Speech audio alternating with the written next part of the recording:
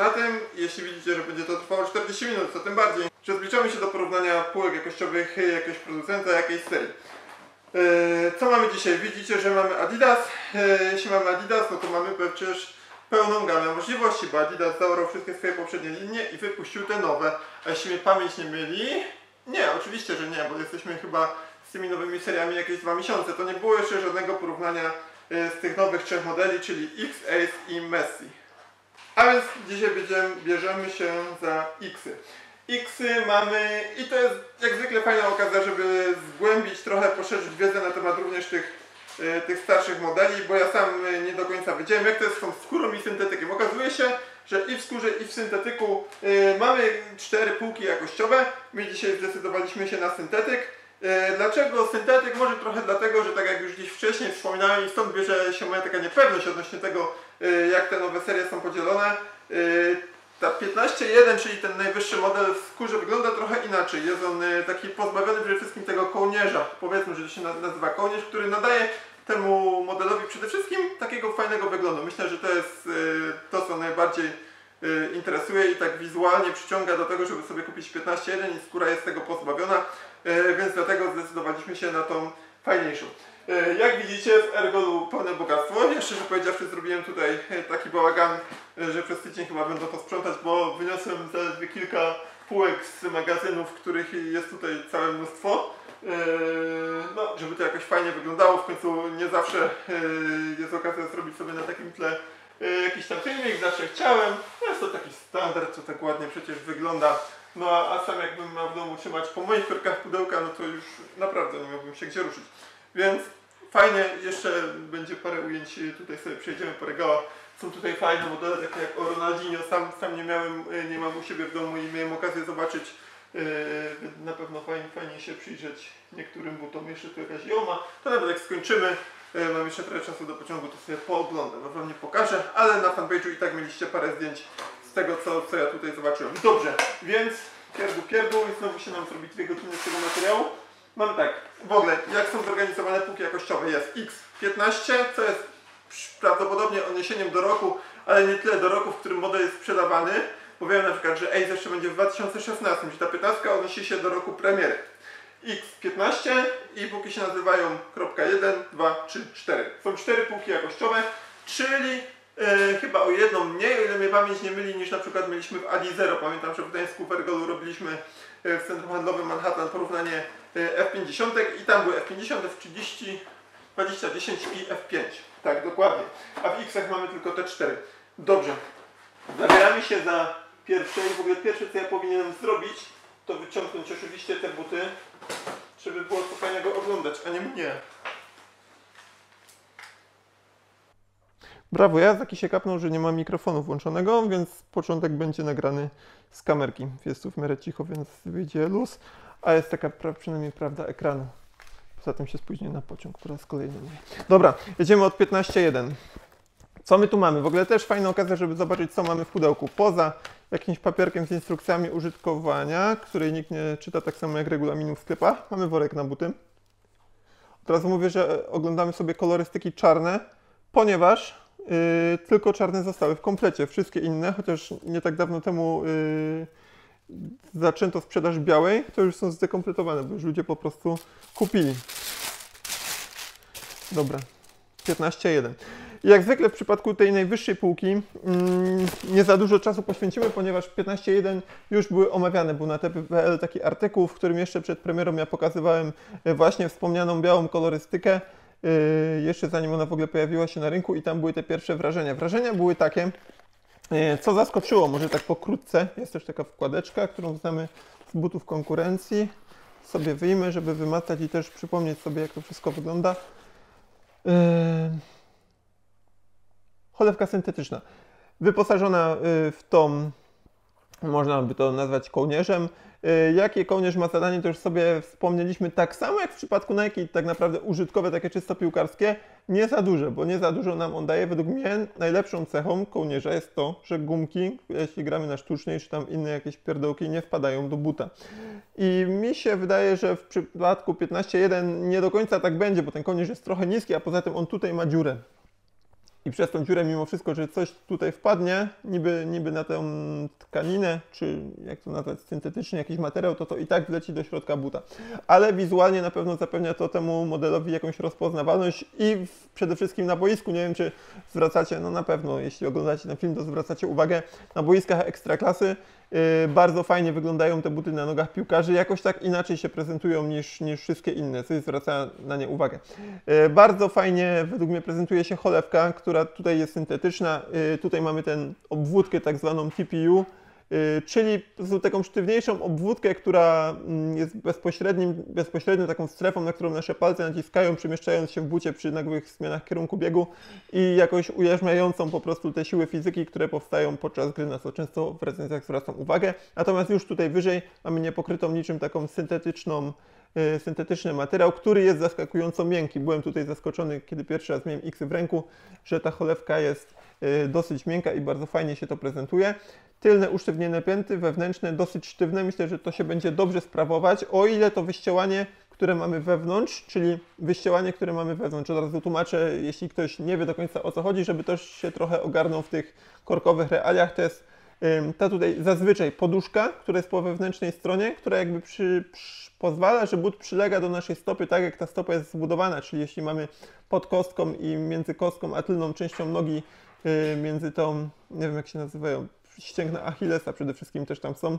Yy, takie mamy wgłębienie naturalne, to yy, te wyścielanie ma przylegać, wypełniać tą lukę po to, żeby but lepiej przylegał.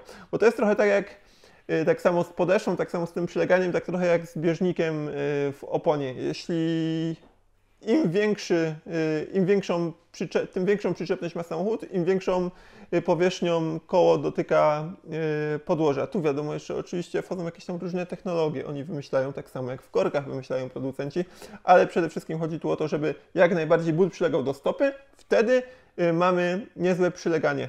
A to jakieś inne jeszcze cechy, takie jak czy materiał jest śliski, czy, czy szorstki, to już jest zupełnie inna bajka i to też wpływa o, ogólnie na to. Dlatego Y, te recenzje korków, jeśli są zrobione dobrze, tak jak ja to robię, y, mają tam po 30 tysięcy znaków w niektórych przypadkach. Y, co by tu powiedzieć? Te grafiki, które tutaj są, mm, ja myślałem, że one będą jakąś taką częścią usztywniającą. Okazuje się, że nie są wcale, wręcz są tylko po to, żeby były tak wizualnie. But sam w sobie, o ile tutaj jest miękki, to tutaj na boku mm, wydaje mi się, że on jest trochę grubszy. Jeśli spróbuję to wymazać, żeby mieć pewność. Tak, tak się wydaje. Tutaj chociaż tak naprawdę jest jednolitość. Yy, nie ma nic pomiędzy, znaczy nie ma tutaj żadnego łączenia, to jednak czujemy w pewnym momencie, że od wewnętrznej strony tutaj właśnie, gdzie jest gdzie jest tak miękko, tutaj w środku nic nie ma, a się zaczyna jakieś takie zgrubienie tutaj gdzie niegdzie, które sprawia, że, że ta część jest jednak sztywniejsza. Czyli całkiem fajnie. Jeszcze szczerze wam powiem, nie miałem X-ów na nogach. Chyba tylko raz w Londynie, jak byłem, to sobie przymierzyłem, bo w Polsce nie ma moich rozmiarów to całkiem fajnie leżały i tak się fajnie je czuło na nodze, więc jest to na pewno z tych wszystkich butów, które Adidas wypuścił, tak jak ja mówiłem, najbardziej najlepsze wrażenie robią na mnie Messi, ale tak też patrząc ze strony wizualnej, co się podoba, to ten X15.1 jest na pewno najatrakcyjniejszy. Dobra, w międzyczasie muszę sobie załyczyć. Red Bull wyskakuj z siana za reklamę. Dobra, to teraz przejdźmy sobie do konkretów i teraz dopiero się okaże, jakie są różnice. Mieliśmy 15.1, co fajnie widać, może też, też nie wszystko jest pokazane tutaj po wkładce. Mam nadzieję, że uda mi się jeszcze nagrać takie przebitki, które Wy będziecie widzieć podczas tego, jak ja mówię, żeby to trochę urozmaicić, uciekawić. Ja myślę, że merytorycznie nie jest tak źle. 15.2. 15.2. I w ogóle, jak się weźmie te 15.2 do ręki, to ja w tej chwili miałem taką myśl, kurczę, czy to jest na pewno 15.2, y, bo mamy ten kołnierz tutaj.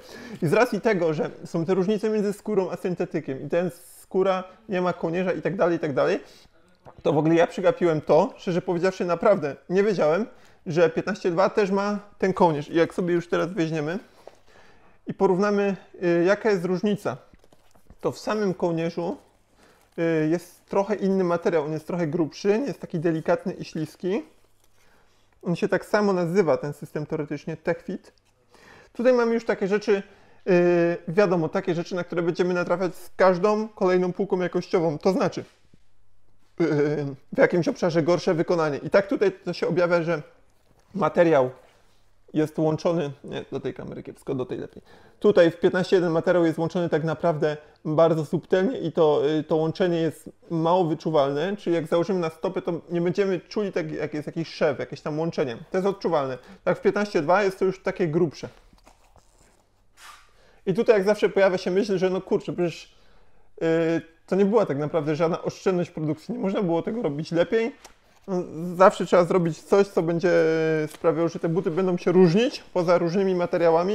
Yy, no, że można było koniec końców powiedzieć, dlaczego jeden jest lepszy, drugi gorszy yy, i inaczej za nie skasować. No, czy, czy to jest taka super najlepsza droga? Trudno powiedzieć, bo jeśli zrobiliby te buty tak yy, faktycznie możliwie najlepiej jak mogą, to czy one by się najlepiej najlepsze od najdroższych różniły? No są takie rzeczy po prostu w świecie biznesu przede wszystkim, na które jesteśmy skazani i nie ma nawet za bardzo co z tym dyskutować i ja nie będę, chociaż jak wiecie, ja bardzo często dyskutuję z różnymi nie, nie, niesprawiedliwościami, czy różnymi rzeczy, do których można się przyczepić, to ja często się przyczepiam. Dobra, przede wszystkim yy, co się widzi? Zaraz kabel się urwie od internetu. Urwiesz mi od internetu. Jestem hardcorem. Pierwsze, co jest zauważalne, to to oczywiście, że różni się materiał, z którego wykonana jest cholewka. W 15.1 jest on taki... Yy, jego powierzchnia jest yy, mm, pokryta takimi kropeczkami, jak to często bywa w tych najwyższych i nawet nie tylko najwyższych modelach, yy, którymi jakoś tam mają wzmóc kontrolę piłki. Yy, jeśli powierzchnia jest płaska, to wiadomo, piłka się ślizga. Jeśli ma jakieś takie drobne nierówności, to gdzieś niby ma to być bardziej przyczepne. Na pewno coś tym jest, nie jest to pozbawione sensu, na pewno w jakimś stopniu to działa. Więc jeśli na logikę coś funkcjonuje, to nie ma za bardzo potrzeby się, się z tym kłócić i jak najbardziej nie ma nawet ku temu chęci. W 15, 15.2 jest to już inne. Wiadomo, że to nie jest idealnie śliskie, ale nie ma takich specjalnie zrobionych, bo to widać, że to jest specjalnie zrobione. Nie ma takich y, wypustek, które by to były. Jest to już takie śliskie i gładkie. Y, te, te, grafiki na bokach, one nie pełnią za bardzo mm, funkcji użytkowej. Może gdzieś to później się pojawi, kiedy cholewka będzie bardzo cienka, to może te, te grafiki wtedy będą nadrabiać. Y, zobaczymy, jak wezmę do ręki, ale tutaj nie robią większej różnicy. Także głównie bym powiedział, tutaj to wyściełanie, no zawsze patrzę, żeby jak najlepiej to obejrzeć, żeby Wam mniej więcej wszystko powiedzieć. Wiadomo, że przez to, że, że materiał, z którego wykonana jest cholewka jest inny, to też kształt buta będzie trochę inny, on będzie inaczej przylegał, inaczej będzie się gdzieś tam odkształcał, szczególnie przy tym, kiedy, kiedy będziemy biegli, ta cholewka się będzie zginać, ona może się w inny sposób zginać, ponieważ elastyczność i giętkość tego materiału będzie inna. Więc na przykład, o, sobie taką próbę. To jest dosyć prosta, yy, ale w miarę coś tam zawsze mówiąca próba. Yy, tutaj też patrzymy na sztywność podeszwy oczywiście, ale tak sobie patrzę, zginam, co się łatwiej zgina. I dochodzę do wniosku, który często się pojawia, przy, szczególnie przy butach Adidasa, że 15.1 15 się ciężej zgina. Ale też Adidas jest pionierem pewnej myśli i myśli słusznej, którą ja poznałem, którą dałem sobie Y, słusznie wmówić w przypadku Nitro Charge 2. Tam w Nitro Charge y, była taka myśl y, właśnie mówiąca o podeszwie, o tym, że tam był taki system oddający niby stopie część energii wkładanej w zgięcie podeszwy. I szybko nakreślę, o co tutaj chodzi. Mianowicie, jeśli podeszwa jest bardzo elastyczna, to ona łatwo się zgina, to jest oczywiste. Ale jeśli, żeby wyprostować się z powrotem, musimy nasze palce muszą włożyć w to jakąś energię, no bo przecież nie, nie zostanie sobie zgięta stopa.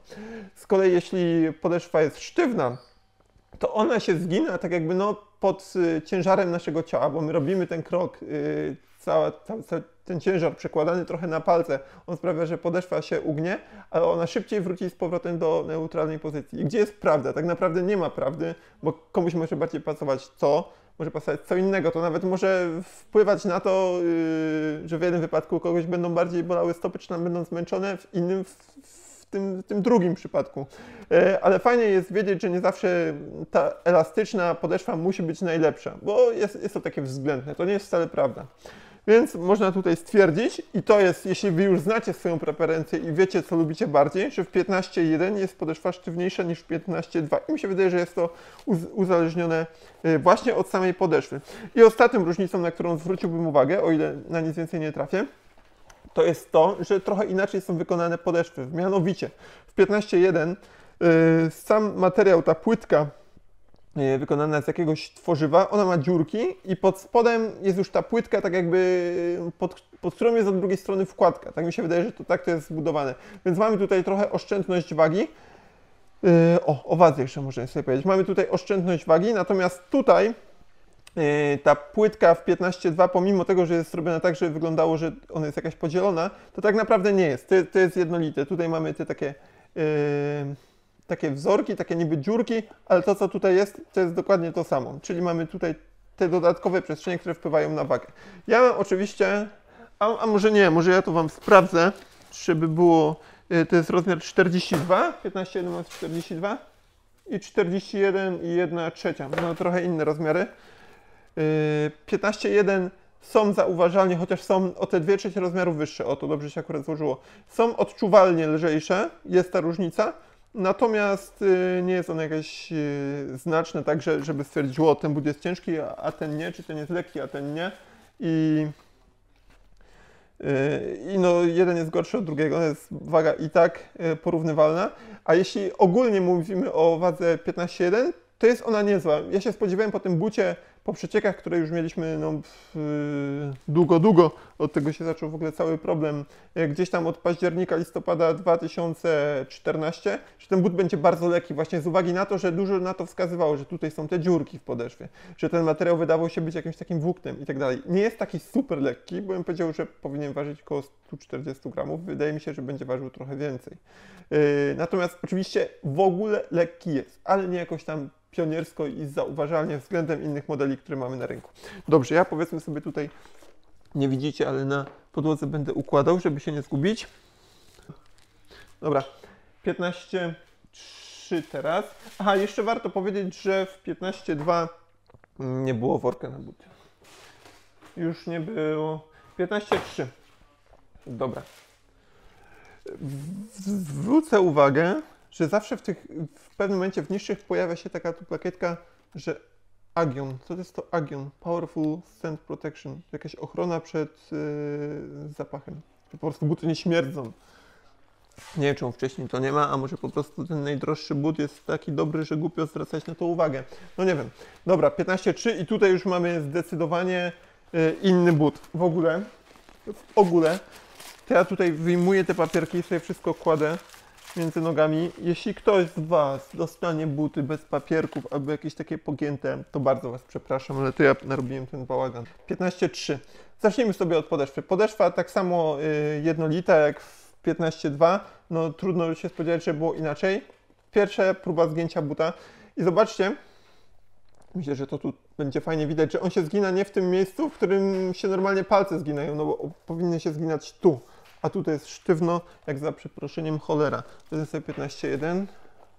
O, 15.1 się zgina tutaj. Widzicie? A 15.3 się zgina, no tutaj się nie zgina.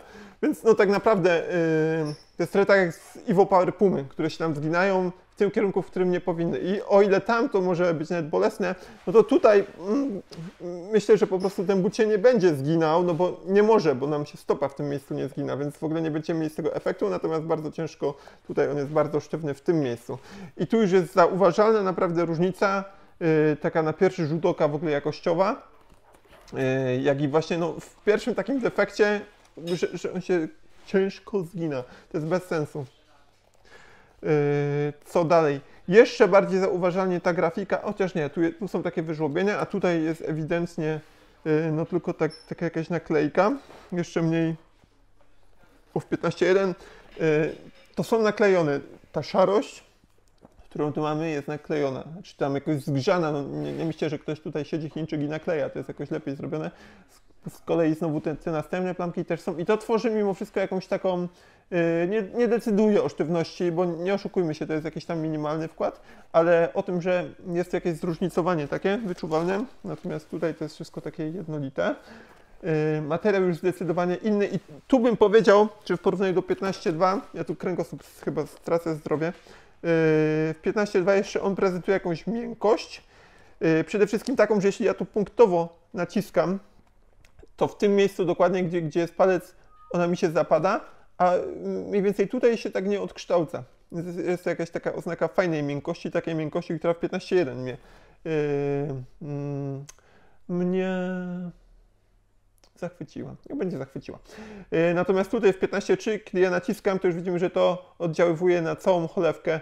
To są takie pierdoły, bo wiadomo, że wy nie kupicie sobie butów i nie będziecie siedzieć w krześle i nie będziecie naciskać. To ma działać na boisku. No ale na boisku też to tak się będzie sprawować, że jeśli przyjmiecie piłkę na przykład i ona będzie w tym miejscu oddziaływać, albo będziecie prowadzić, to ten but będzie się tutaj na tym całym obszarze zniekształcał, yy, jakoś tak yy, reagował inaczej, czy, czy dziwnie, czy źle, po prostu inaczej niż te buty, które są droższe, lepsze.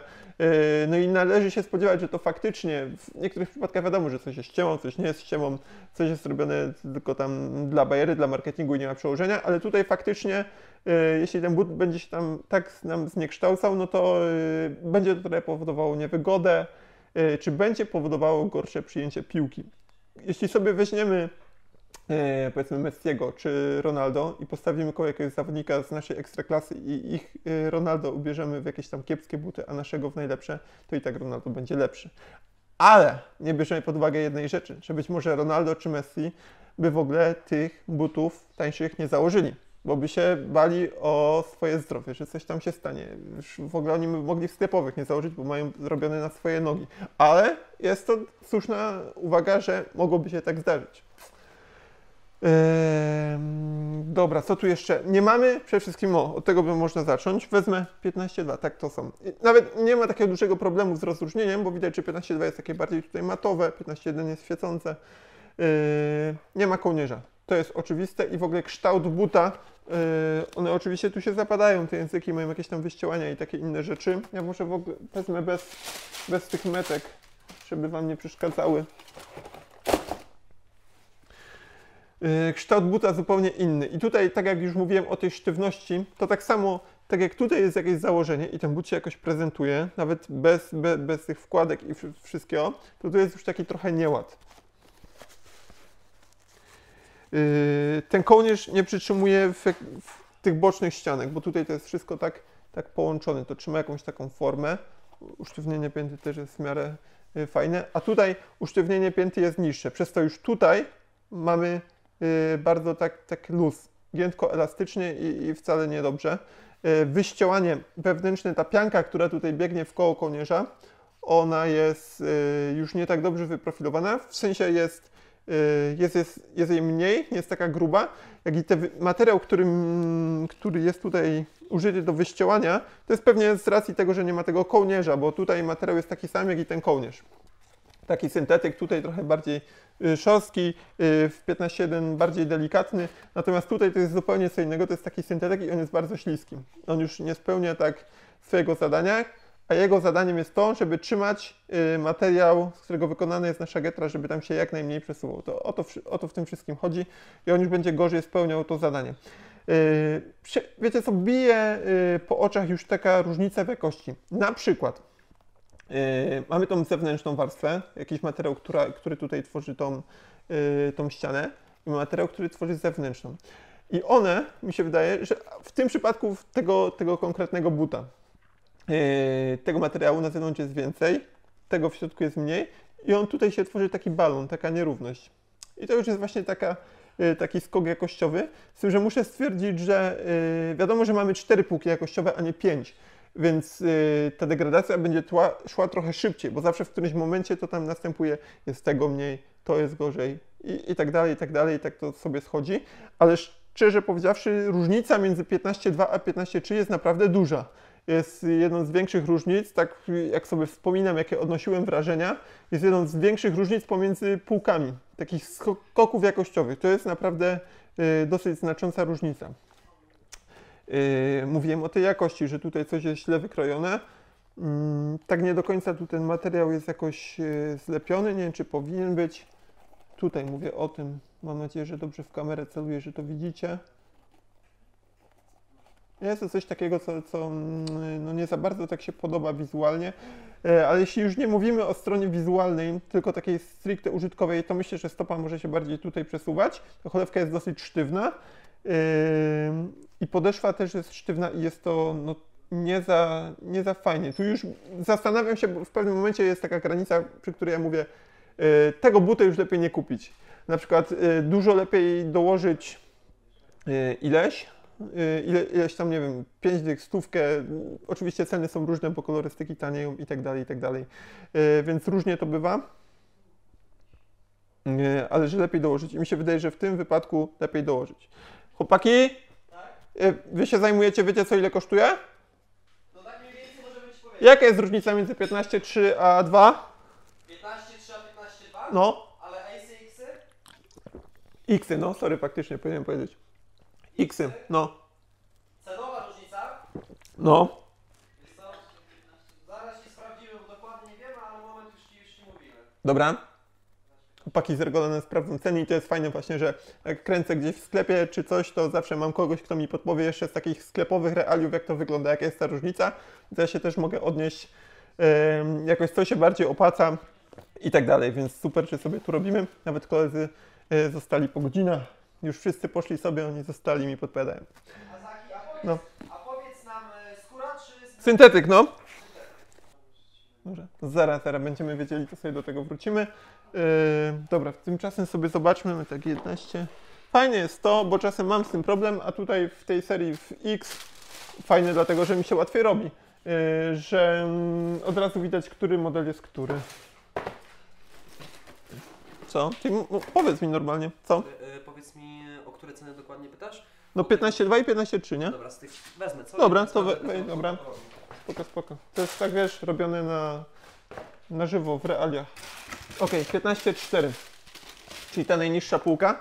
Yy, odsuńmy się na chwilę od modelu i z ostatnią półką zawsze było tak, że ona dla mnie była jakimś takim, e, e, nie ekwiwalentem, co słowo, e, konkurowała z jakimiś butami w mojej świadomości, takimi, które gdzieś tam by można kupić w jakichś obuwniczych i coś takiego, wiecie, są jakieś takie firmy, które robią takie buty do piłki, co babcia wnuczkowi może kupiła, oczywiście nie urażując babci. Yy, no bo są do piłki, bo mają korki. I oto mamy takie właśnie buty. 15.4 Adidas X. Zobaczmy, co tu mamy. Tutaj odnoszę wrażenie zupełnie odwrotne. No i co? 249,99, cena jest sklepowa. 349,99, także jest stówka. Stówka różnicy. No, dobra. Okej, to zaraz, pamiętajcie, stówka różnicy, zaraz do tego wrócimy, będziemy wiedzieli. Yy, 15.4 odnoszę zupełnie inne wrażenie niż w przypadku 15.3, bo tutaj mi się wydaje, oczywiście są tu znamiona takiego buta z najniższej półki, które zawsze są, ale kurczę, nie, nie jest jakoś pozytywne wrażenie, to na mnie yy, tutaj yy, muchy jakieś, pozytywne wrażenie odnoszę i zaraz powiem Wam czemu. Wpierw sobie zobaczmy, co tu w ogóle mamy. Podeszwa oczywiście jest zupełnie inna niż poprzednich. Tutaj mamy 15.3, 15.4. Podeszwa jest inna i zawsze tak jest. O dziwo, jeśli chodzi o samą elastyczność, to jest, y, czwórka jest bardziej elastyczna niż, niż trójka i zgina się w odpowiednim miejscu, więc to jest na plus. Cholewka już totalnie z jednego takiego kawałka, takiego typowo, yy, bardziej elastyczna niż, nie, czekaj, czekaj, czekaj, co tu mamy? Nie, ja pokazywałem trójki. Tu, tu są trójki, to jeszcze raz. No podeszwa to wiadomo, że była lepsza. Yy, myślę, że miękkość jest ta sama, materiał jest zupełnie inny, nie mamy tutaj yy, żadnego takiego usztywnienia, tu możemy zapomnieć o tym, że but jest jakoś tak specjalnie pomyślano, że zróbmy tą strefę tak, żeby tutaj pomóc zawodnikowi w tym i w tym. No nie. Te buty mi się wydaje, że są robione tak. Są jakieś typowe schematy, które my y, też powtarzamy z każdym porównaniem, y, że to jest gorzej, tamto jest gorzej, no i to jest właśnie tak robione. Yy, miękka cholewka, ona y, jest na tyle miękka, że ona właśnie tak się do końca, y, tak jak było tam, że nacisnąłem, no pokażę na miejscu, że na, nacisnąłem, tak, tu wkładałem papier powrotem. Tu naciskam, a gdzieś, gdzieś tutaj się będzie ruszać i tym podobnie. O, na przykład tu, widzicie, że tu się wybrzusza. A tutaj z kolei jest to na tyle miękkie, no też się wybrzusza, ale mi się wydaje, że jakoś tak lepiej, lepiej się wciska. Z tym, że ogólnie kształt tego buta, myślę, że najbardziej ze wszystkich, zgodnie z oczekiwaniami, zgodnie z degradacją półek jakościowych, odbiega od tego wzorcowego, który pewnie mają w 15.1, czyli odbiega od kształtu stopy, jakiegoś takiego średniego, wzorcowego kształtu stopy, bo każdy ma jednak stopę trochę inną, ale najbardziej odbiega. I tutaj, yy, mimo że mm, materiał może mieć jakieś właściwości, które będą sprawiać, że lepiej przylega do nogi i tak dalej, to to, że kształt buta się zmienił, no to już sprawia, że na przykład to jest zupełnie nieważne, bo ten materiał w ogóle nie będzie dotykał naszej stopy. Yy, więc tutaj widać, że ten czubek jest bardzo szeroki, ten front buta. Yy, wewnętrzne wyścielanie tu, tu tylne, jak zawsze jest zrobione z jakiejś takiej ja zawsze mówię, że szmatki, no nie do końca wiem jak to określić, ale taki syntetyk to, to jest taki Hmm. To jest taki po prostu materiał, tak typowo jakbyśmy, ja mam nadzieję, że mamy jakieś podobne rozumienie. Jak zawsze mówię, jakieś tworzywo, jakiś materiał, ale mówię o nim, że jest śliski i taki, i taki, syntetyczny, a to jest taki po prostu materiał, tak jakby yy, do obszycia czegoś używany, no nie wiem. Równie dobrze można by jakiś ciuch może z tego użyć, no nie wiem, jakieś rękawiczki czy coś takiego. Yy, wkładka też taka szorstka, taka dosyć nieprzyjemna w dotyku. W tych butach zawsze teoretycznie ona chyba powinna być e, przylepiona, bo widzę, że, że jest, e, tutaj się coś klei, ale mimo wszystko i tak można ją podnieść. I, to jest taki po prostu jakiś filc, prawdopodobnie tak by to należało nazwać, chociaż w przybliżeniu y, opisując jakby wrażenia, żebyście mogli sobie skojarzyć z czymś innym. No tutaj też są wszędzie wkładki przyklejone. Yy, w miarę jakościowo, bo co, co mnie tutaj e, skłania ku dobremu wrażeniu, to jest to, że jakościowo e, jest to dosyć nieźle mimo wszystko wykonane, bo tutaj mimo tego, że materiał jest mało atrakcyjny, to nie ma tutaj takich balonów, tak jak było w 15.3, że gdzieś tutaj było tego materiału za wiele, tam za dużo jakiś balon się tworzył, to to jest, mi się wydaje, tak dosyć ładnie wszystko skomponowane, skrojone. I nie ma tutaj takich, takiej hały. W przypadku tego buta, bym powiedział, że jeśli go by położyć koło takiego jakiegoś właśnie z obuwniczego i tak dalej, to by było widać ewidentnie, pomimo tego, że jest znaczek, on tam na nas działa i tak dalej, i tak dalej, to że ta różnica jakości mimo wszystko jest. Więc wydaje mi się, na to doświadczenie, które mam, też trzeba sobie jasno powiedzieć, się z tym nie kryję, że yy, ja ten but, taki jak 15.4 mam pewnie raz w życiu w ręku i też poprzedni raz te wszystkie F5 i tak dalej też trzymałem raz. Yy, to, że on jest stosunkowo lepszy niż te wszystkie inne najgorsze półki. Tak już przechodząc, myślę, do wniosków y, ostatecznych, że tak jakościowo całkiem niezłe wrażenie nam nie robi. Należy przypuszczać, bo tutaj w międzyczasie się dowiedzieliśmy, y, że różnica między 15.2 a 15.3 to jest stówka i prawdopodobnie tutaj też to będzie stówka, czyli tam kosztowało y, chyba 349, potem 249, tam będzie kosztowało 149, co pewnie jest drożej niż jakiś tam but, Y, taki no jakiejś tam gorszej marki, ale mi się wydaje, że dla radości tego, że mamy but Adidasa, a nie jakiś mało znany, a przypomnijmy sobie, że to jest też istotne i to nawet wpływa na to, jak się gra y, faktycznie, jak ktoś gra na boisku. Bo jeśli się cieszy z tego, że ma fajny but, który przynosi mu radość, to po prostu będzie szczęśliwy i będzie mu się lepiej grało. Naprawdę tak jest.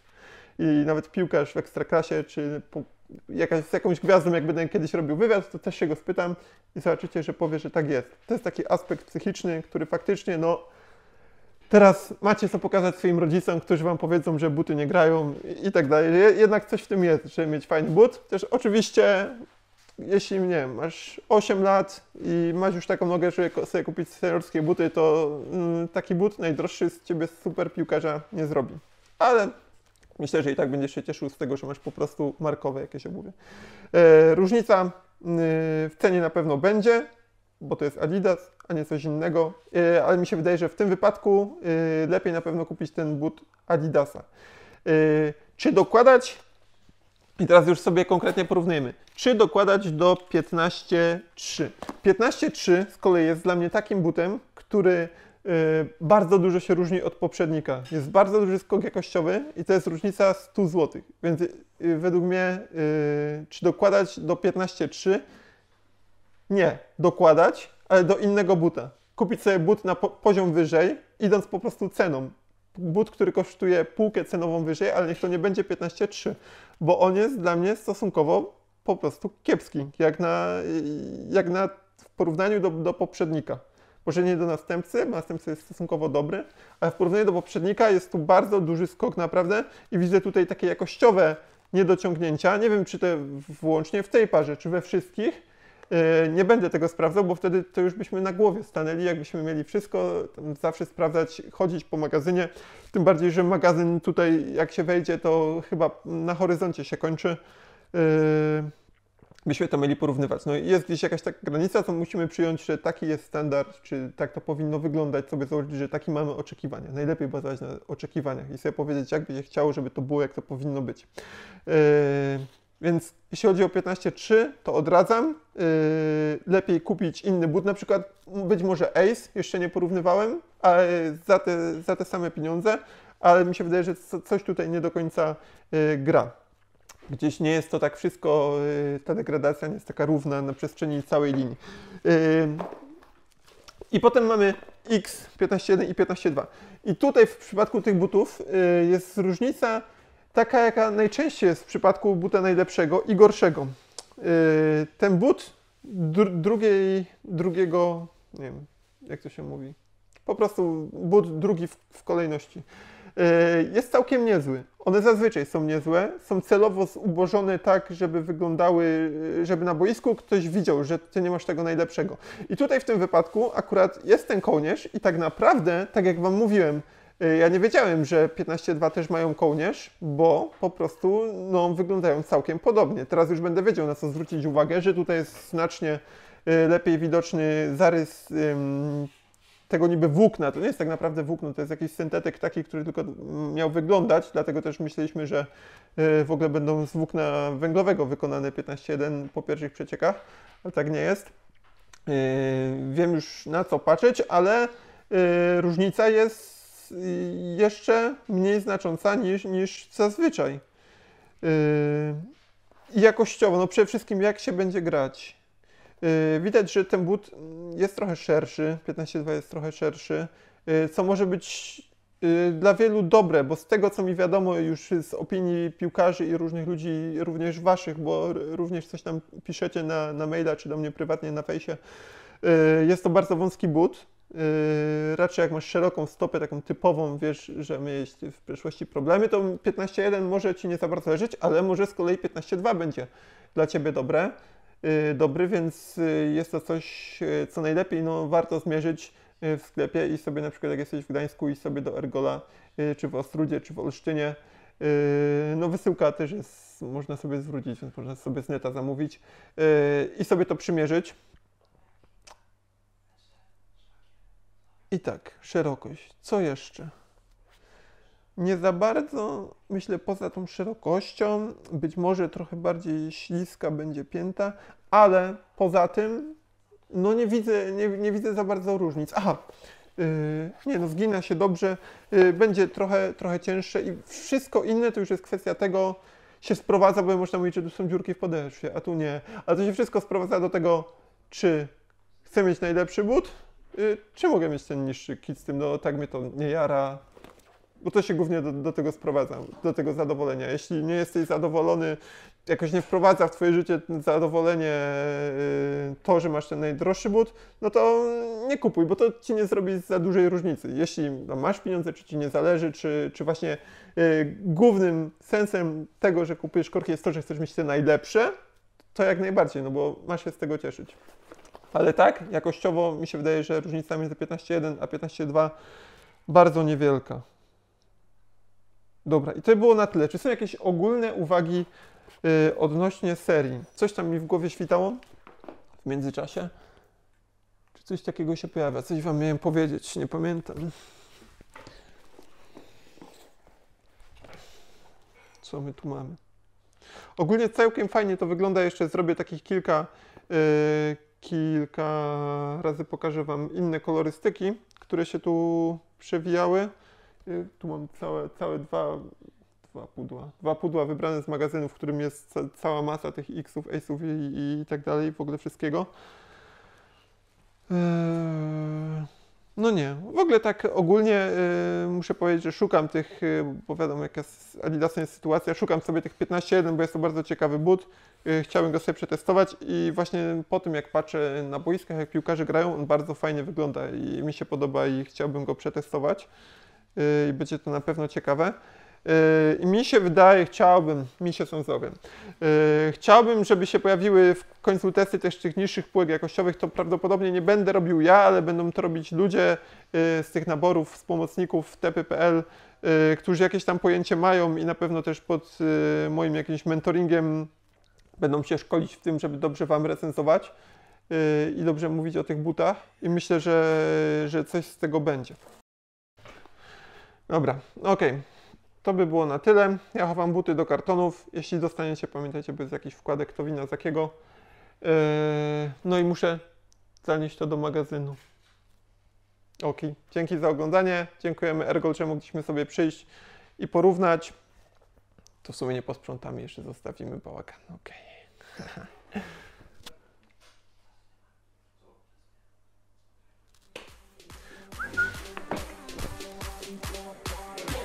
não.